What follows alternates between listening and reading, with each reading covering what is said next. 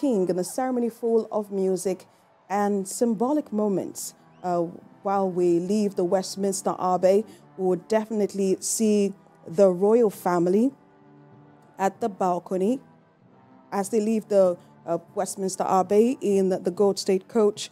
We're expecting to see an appearance by members of the royal family on the balcony of Buckingham Palace and also also expecting military fly past while we watch this beautiful moment. Let's bring in our guest, Bola Adediran, lecturer of politics and international relations, Liverpool Hope University. It's good to have you stay with us. I know you've been with us since morning, since this beautiful event started. Uh, first, let me get your reactions as to what you're seeing and how Britain is holding tradition in the midst of, in the 21st century, in the midst of modernity. Well, uh, as you've been showing, it's a it's been a ceremony full of significant um, symbolism. It's been a, uh, it's been a coronation that has upheld tradition, a thousand year tra- tradition, and uh, there have there have been emotional moments um, throughout the ceremony, particularly uh, after the crowning of uh, King Charles and uh, um, uh, Prince William, who is uh, the Prince of Wales, was also pledging his allegiance to uh, to the new king, and there was this tender father-son moment in that in that um, in that particular episode. So throughout, we've seen all uh, an attempt to uphold tradition. We've seen the uh, the importance and the significance of the church. As as king, King Charles is not only um, uh, the king of uh, of England, uh, Wales, uh, Scotland, and Northern Ireland, but at the same time, he's also the head of the church, the Church of England, and and you could see throughout the ceremony the importance placed on that relationship between the monarchy and the church. Uh, but I but I think that there there has been uh, it, it, has been definitely a beautiful ceremony to watch. Uh, but there are larger questions, as I was saying earlier, uh, about the, the, the relevance of the monarchy in the 21st century. I think there is no you can you can prime and, and make it look as beautiful as, as possible, but those questions are still there. But whether the monarchy is still relevant in, in this time and age. I think one point that you've just raised is something that happened at the coronation ceremony, which was the pledging of allegiance. I know that has been pretty controversial. The controversial public homage, you know, that uh, took place in Westminster Abbey, which has been a controversial issue for uh, some time now. I want to ask you, why is it? Why is there so much controversy on that? Well, I think that the controversy lies with the fact that it at the uh, at the at first when it was suggested it uh, it it appeared that um, people were being requested. It was there was a sort of demanding tone. The people had to pledge allegiance and swear allegiance to the king. And don't forget that there are, there is a swelling support for republicanism in the UK now, even though that is still in the sizable mi- minority about uh, the, even though it's still a minority, but it's a size growing and sizable minority. So I think that the forces of republicanism and just the discomfort around swearing allegiance and being requested to swear allegiance to the king was particularly distasteful for a lot of people. And there are also parts of the UK, particularly uh, uh, Liverpool area, especially the north of uh, of England, who do not have the same sort of affection for the monarchy as other parts of the UK feel. And for for uh, for that part of the country, uh, you know, it you know the idea that they will be requested to swear allegiance to the monarchy was just something that they couldn't could not take. And, uh, and I think there was a slight change in tradition there because mm. previously, as you may be aware, what happened was that the oath of allegiance was often taken by leading aristocrats. Uh, so uh, lifelong peers uh, would form a long line and swear allegiance to the king, and they were the representatives of people. But as part of this attempt to sort of modernize the monarchy and to give the impression that you know uh, the monarchy was now of the people, uh, it was suggested that people watching from home or watching in pubs, watching all around the country would be asked for for that moment of uh, of connecting with the king and feeling that they are part of the ceremony. But of course, that has been um, that that resulted in some black backlash, as you rightly mentioned. Mm, pretty interesting, but uh, you know, uh, you, you if you take a look at how many people trooped out just to watch this historic moment. I, I want to understand if you say that some persons have reservations. We know that there have been protests at uh, the Buckingham Palace, around Buckingham Palace, and some other places. Uh, uh, how loved is the king and queen? I know that this particular monarchy has been plagued with various controversies, various uh, scandals and stories, but how loved are they? If you know, if you go sample opinions of people around the United Kingdom. There have been polls that have been uh, recently put out that show that uh, the king's popularity is taking a slight uh, um, has moved in an upward trajectory. Before, while he was the Prince of Wales, he was not one of the most loved members of the royal family for sure. And that is because of uh, a long history of scandals that, uh, particularly the whole Diana episode and the perception that it not only cheated on Diana with uh, uh the Queen, uh, the, with Camilla, who is now the Queen, but also just because of how um, uh, some of the decisions he's taken in the past, and some of those unwillingness, uh, perception that he, he would be a monarch who does not res- respect the constitutional limits that uh, have been placed on the monarchy, particularly in terms of the extent to which the monarchy interferes in daily politics uh, and in, in the affairs of the state. There was a scandal that it was uh, um, it was it was part of in uh, I think in the late under Tony Blair's government or maybe in uh, uh, Gordon Brown's government, where he sent a memo called the Black Spider memo, uh, trying in some ways to influence the policies and um, and the decisions of the government. And when that came out, it was concerning for people because for a lot of British people, uh, the idea of the monarch is just uh, for what is we've seen today the pomp and the pageantry, the tradition, uh, the historicity, uh, historicity of it, and the some symbolism of, of, it. And so people have never thought that the monarchy has a significant hold on daily politics. And to see a prince interfere in the daily affairs of the state was concerning. And, and, and so all of those things have made uh, Prince Charles, now King Charles, uh, a, a monarch to be wary of. But I think that since the queen has died, uh, people are beginning to take to him, but obviously he, is, he has not enjoyed the same groundswell of support that the former queen had. And she was a very popular monarch by all accounts. Particularly when you consider what he has done in the military, and uh, some persons, you know, tag him as the climate change king. Uh, do you think that will go far, if, given how he has interfered in politics and uh, how he has taken on some environmental issues as his personal, for his personal interest. Do you think that will help in shaping this monarchical system?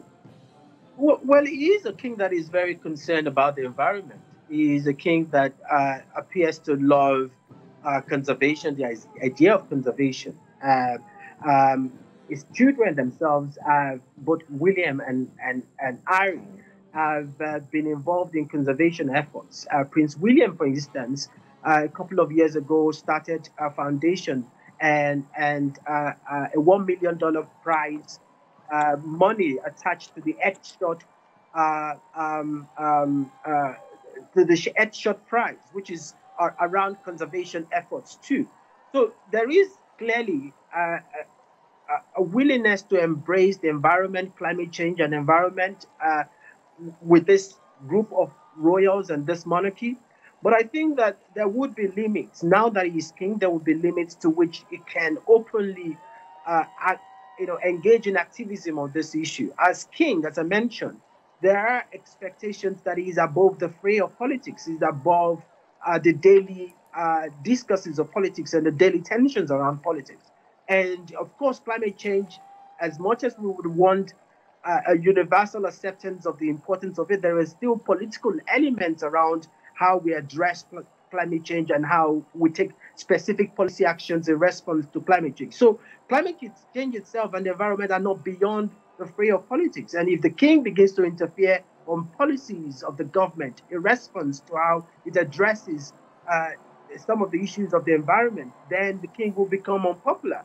And so the king has to maintain this neutrality that it uh, that has kept the monarchy uh, um, um, uh, stable for for thousands of years and um, in the midst of the republicanism that has overtaken the rest of Europe.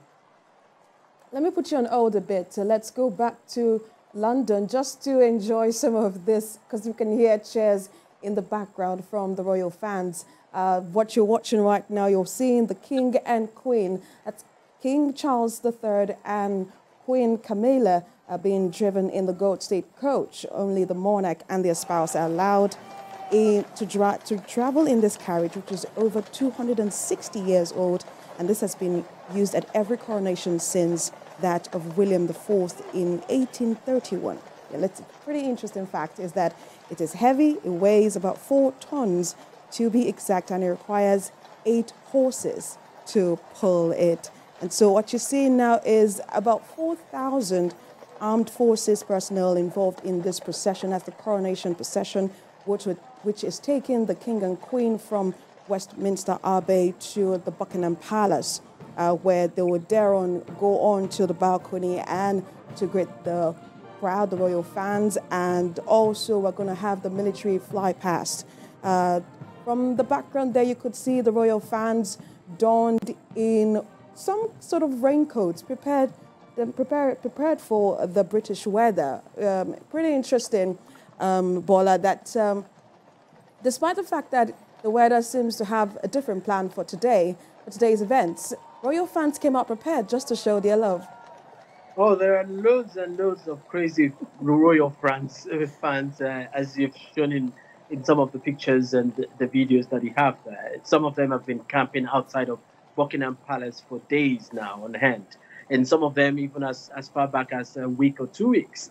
Uh, so, yes, the, the weather, typical British weather, weather um, it's been sunny for a couple of days, but you know you cannot be absolutely sure what you you're ever going to get. And today it's been raining, and in spite of the rain, in spite of the the, the, the damp uh, in the weather, people are out there excited about uh, the significance of the moment for them.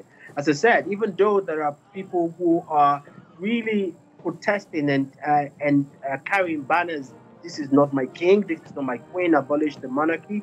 There are still thousands and hundreds of thousands and perhaps millions of people out in the streets across the whole country celebrating today and, and embracing uh, the momentous occasion for them and and it's a beautiful thing to see people happy in some ways. Um, a, a, lot of persons will think, why are we showing this? Uh, if you take a look at the Commonwealth nations and the impact of, the, of British uh, Britain on Commonwealth nations and uh, how important this is for us as Africans and, and as Nigerians. We understand uh, President President Muhammad Buhari is also uh, also went to the United Kingdom just to witness this moment. Uh, we've seen a lot of um, high dignitaries, you know, dignitaries also uh, at the event, uh, although the United States president isn't there, his wife and granddaughter uh, at the event. Talk to us about um, how important is the United Kingdom, particularly the British monarch, in politics around the world and as it pertains to Africa and Nigeria in specific? Well, well, one of the um, important areas in which the British monarchy uh, has, uh, has managed to carve a role for itself is in terms of the Commonwealth, uh, a member nation that obviously is a relic of, of uh, Britain's colonial past, uh, the 50, 50 something, 55 member uh, nation, and the king sits at the, at the helm of the Commonwealth.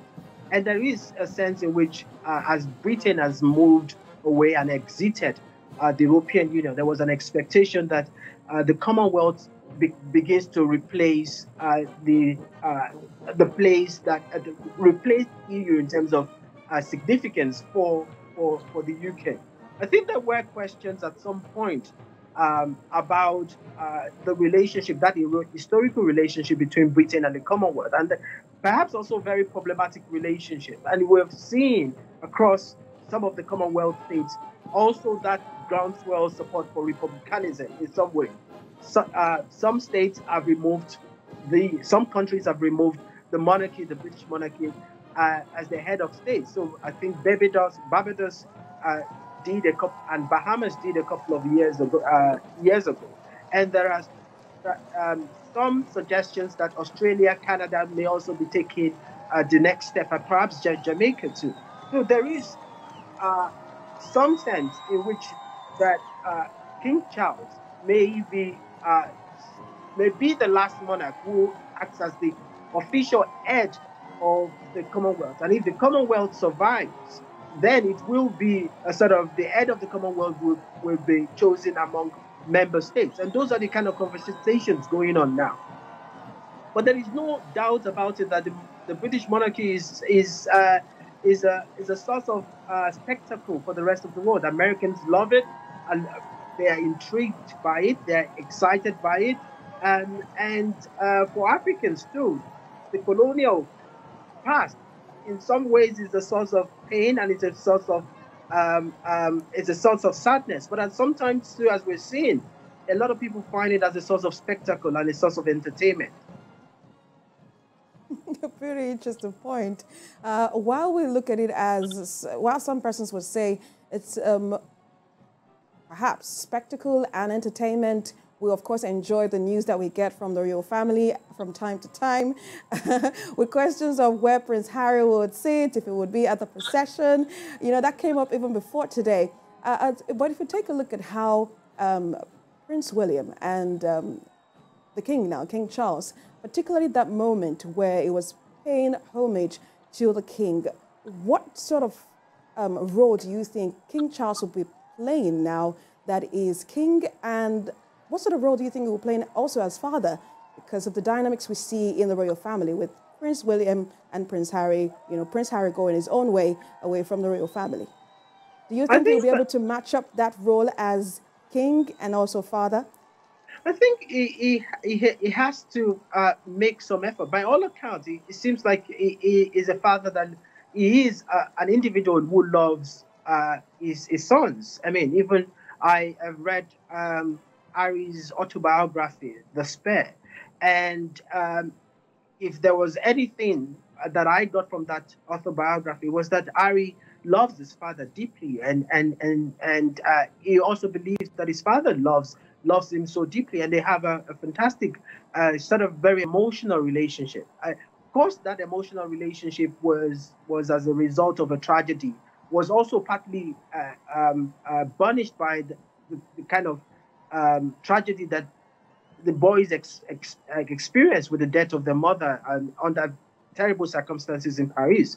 Uh, but I think that despite all the scandals that came from uh, Prince Harry's uh, exit from the royal family, I think that as king, the, the, the King Charles understands that he also has a duty towards Harry as, as, as a father. And you can see that at, at least in the news, that there was some effort made by the king to ensure that his son comes for the coronation. Now, there were obviously some um, reports coming out saying that Harry may not have was planning not to attend, and he made he made personal entreaties towards Harry to ensure that he was there for the coronation, even though he has not played any significant part in the coronation ceremony itself. So I think that as a father and as as many people across the world can probably relate to, uh, there is that, regardless of your duty as monarch, there is that personal relationship that you will always have, you know, with your boys, and I'm sure that he will be looking for always to ensure that uh, the wounds are healed and the, the nerves are, um, are less frayed. Of course, this is pretty interesting because, you know, we had Queen Elizabeth, a woman who brought in our own flavor you know, to, uh, to being queen and mother at the same time. Now we have a king, a man, King Charles, and uh, based on the controversies with Queen Camilla, I know that people have said that Queen Camilla has this sense of humor and is a pleasant person if you know if you get if you get close to her. Um, I want you to help us better understand what would differentiate Queen Elizabeth to King Charles, with perspectives most... to being Queen, Mother, and then King Father. I think that the Queen, uh, Queen Elizabeth, had a reputation for being uh, someone who uh, was really taken by a duty, took her duties very seriously. There was a particular occasion where um, I read that uh, the Queen had gone on a long journey and came back. Uh, and while she was being greeted uh, at the tarmac, Prince Charles, as a boy, ran up to the to the mother, and the Queen was reportedly uh, very cold in his response to Prince Charles, and and it, the boy was very disappointed because he had missed his mother for so long. But the king, the queen, also recognized our position as a as a monarch and as a duty. And at that time, in front of the in front of uh, uh, the public, she had to maintain a sort of sense, a certain sense of, of boundaries between her and her children. Um, I think that we might see less of that uh, in terms of posturing from Queen uh, King Charles, and we saw that very clearly, as I said, in in the coronation where uh, where Williams was uh, pledging his allegiance, and uh, the King was saying, "Thank you, William," uh, mouthing, "Thank you, William," to his to to his son. in, in a in a very tender moment, so we will see a sudden shift in that sort of dynamic. And we've seen obviously reports of King Charles um, at the after the death of uh, Queen Elizabeth talking to his sons in the garden of Windsor, telling them that you know he hopes that they get along and they make his uh, remaining years on earth as pleasant as it could be. So he is quite an emotional person by all accounts, and it might uh, and he's also obviously an older person now who has come onto the throne in a different circumstance. Uh, so I think that he will uh, continue. He will probably be quite different from his from his mother, who by all accounts was was quite standoffish with with our children, with the exception of Andrew, as as we've been told. And listen back in. I want you to please just be on standby for us uh, as we get back to you so that we can enjoy some of the pictures that are coming live from London. You see there the Gold state coach uh, carrying the King Charles and Queen Camilla right there on the screen from Westminster Abbey to Buckingham Palace. That you see Princess Anne there donned in a military attire just behind the Gold state coach carrying King Charles and Queen Camilla. We've seen very interesting dignitaries at this event, from celebrities to heads of states and government to uh, politicians from uh, China, uh, from various places around the world. And from what you see on the screen, uh, we're seeing a procession, the coronation procession from Westminster Abbey to the Buckingham Palace. And they'll be there in a moment from now. We've seen thousands of royal fans lined up. That's just that's what you see in that picture there. Uh, you see them just waiting to catch a glimpse of the royal couple. And uh, only the monarch and spouse are allowed to travel in the carriage. That's the gold state coach, which is uh, over 260 years old. Uh, it has been used at every coronation since that of William IV in 1831. It weighs four tons, to be exact, and requires eight horses uh, to carry it. Well, nearly 4,000 UK Armed Forces personnel are information marching in step with each other. Let's take a listen just to enjoy a bit.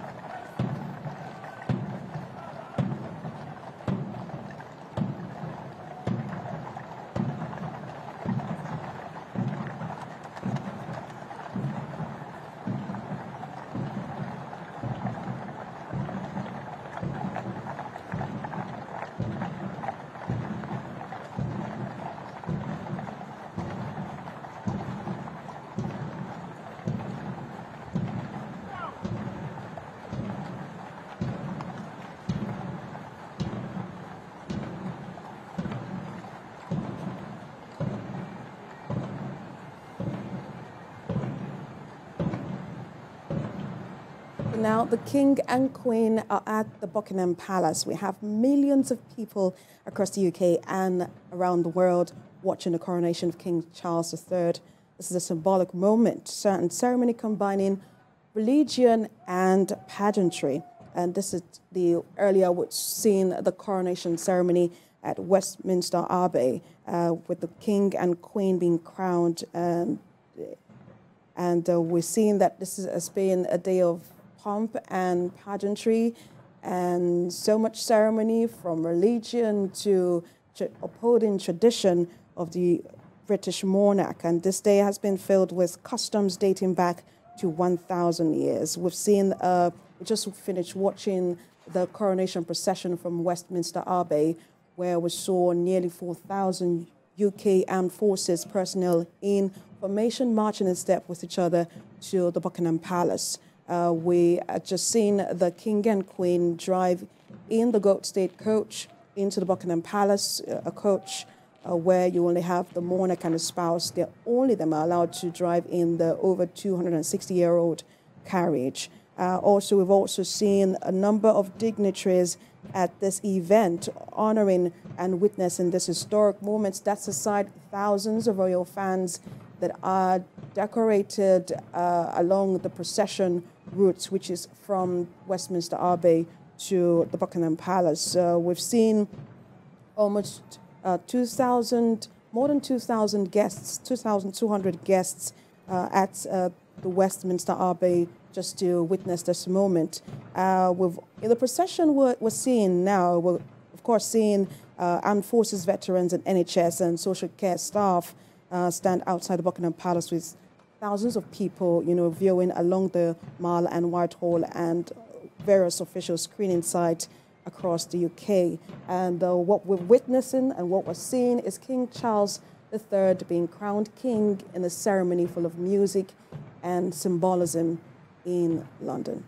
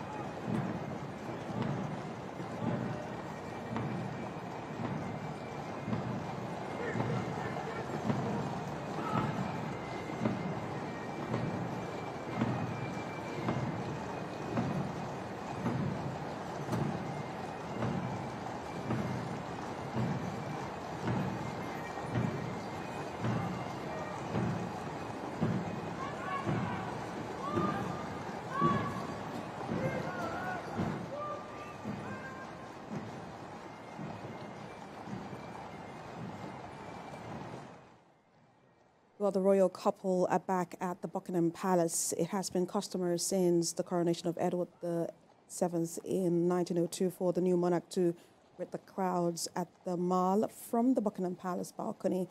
And we're expected to see that any moment from now.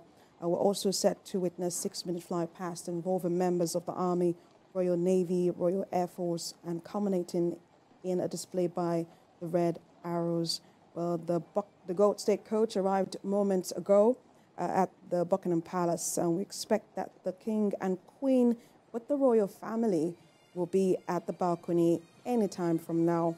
Uh, within a short time, the day's public celebrations would draw to a close. But just before we continue with this historic moment that we're witnessing, let's bring in our guest. Is a lecturer politics and international relations uh, at the Liverpool Hope University in the United Kingdom, Bola Adediran. Thank you so much for staying through with us to help us appreciate this moment that we're seeing on the screen. So while taking his oath at Westminster Abbey, the King, King Charles, had promised to uphold the law during his reign, and it says it will foster an environment in which people of all faiths may live freely. Talk to us about the inclusive nature, and particularly as we've seen at this event uh, with the celebrities from entertainment to politics to various controversial individuals at this event making various statements, fashion statements, and of course, with their presence, making their own statement. Talk to us about the inclusive nature of King Charles. I think that one of the things that Buckingham Palace and the organizers of this uh, coronation event have carefully tried to do is to give that uh, that veneer of inclusivity that you have just referenced. Uh, there have been people who read, uh, the Prime Minister who read the uh, uh, uh, uh, as one of the Bible readings is obviously an Hindu. Um, there have been officiating ministers who are from minority cultures, and and I think all of this is is also a response to uh, the growing concerns within the society generally that the British monarchy itself is not as inclusive as it could be. Uh, you, you, will recall that uh, one of the uh, significant scandals that has rocked the monarchy recently was the lady in waiting uh, uh, to, to the former queen, um, who was accused of racism uh, when she touched an NGO worker who had come to to the Buckingham Palace for a reception and inappropriately touched her hair and uh, was asking questions about uh, where she, she had come from. And even though, uh, even to, you know, uh, even when the uh, particular person in question was visibly uncomfortable, she kept on uh, make, pressing on the subject. So there have been significant concerns about the nature of the monarchy and how inclusive it is. Even Harry and Meghan accused the the monarchy of being stuck in the past and possibly engaging in uh, racist actions and racist statements on, on their unborn child. So I think all of these are intentional in, in terms of trying to show to the world that this is a new era, a new era that recognizes that the, maybe the, the monarchy has not done its best in, in terms of embracing people from other cultures and embracing people from other faiths. And this this coronation, there has been a point uh, as, as far as I can see, to to bring those elements into into into the whole um, ceremony. Eh, even the the the, the choir, I, I think they, we could see one of the um, um, groups that sang at the coronation where was a, an all black choir, yeah. reminiscent of. Yeah, go ahead. Go ahead. It oh. was a oh. beautiful rendition of Hallelujah. Just go it ahead. was. It was. It was reminiscent of the the choir, the Kingdom's choir that sang at Harry and Meghan's wedding. So I think that there there, there has definitely been an attempt to to to to show a different side to the monarch and what possibly the monarch the monarchy could be in the 21st century. But I don't think, as a, in my personal opinion, I don't think all of these things matter enough. I think that you know the reality still remains that the monarchy is a relic of the past. Uh, and yes, it is good for days like this when we are all bored and we want to see the spectacle and the excitement and we want to be, we want to get out of the, the, the boring drudginess of our lives. But beyond that, there are still questions about meritocracy. There are still questions about uh, an institution that is built on hierarchy. Um, and all of these things are important.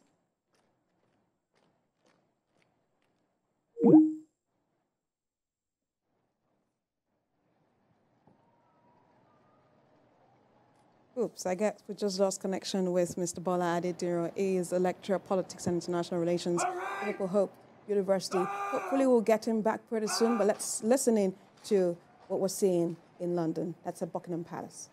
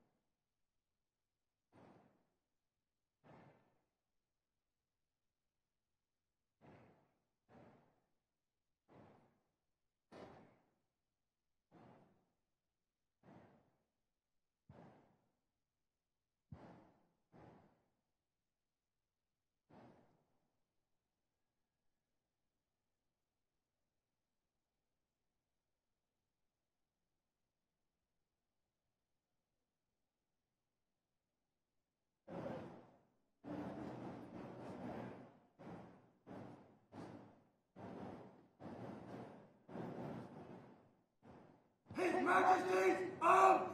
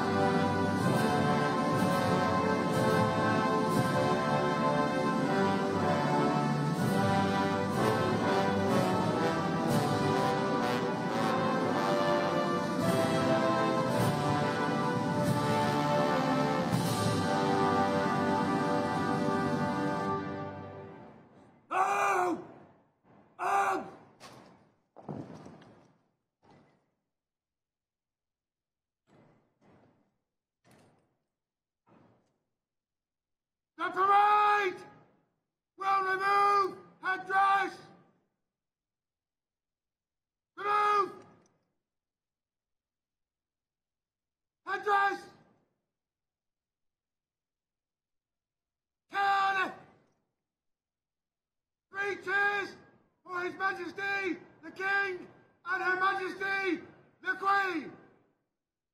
Hip hip. Hip hip.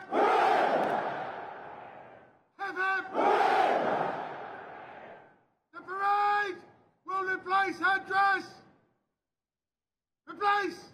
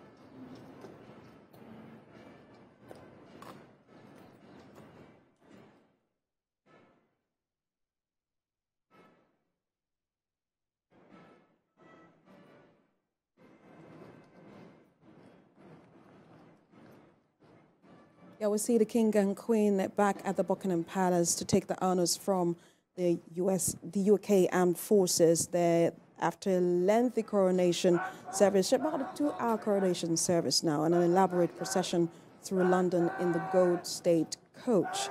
Uh, we still have our guest, Bolade Duro, a lecturer politics and international relations at the Liverpool Hope University in the United Kingdom, with us via Zoom. It's good to have you join us and stay with us. But I think my final question to you, just before we wrap up this segment, is uh, Britain's support for monarch, from what you said, is having this long-term decline. Uh, but what will it take to convince the world, you know, to still say that let's still appreciate this dream world of the monarchy system? I, I, I don't know whether the rest of the world can be convinced. Um, certainly, there are some countries that are still still have uh, you know uh, still have an appreciation for uh, this you know sort of antiquated system. There are countries like Saudi Arabia, Jordan, uh, Thailand who are uh, you know who have uh, you know absolute monarchies. And then there are also constitutional monarchies in Denmark, in Spain, and other places of the world.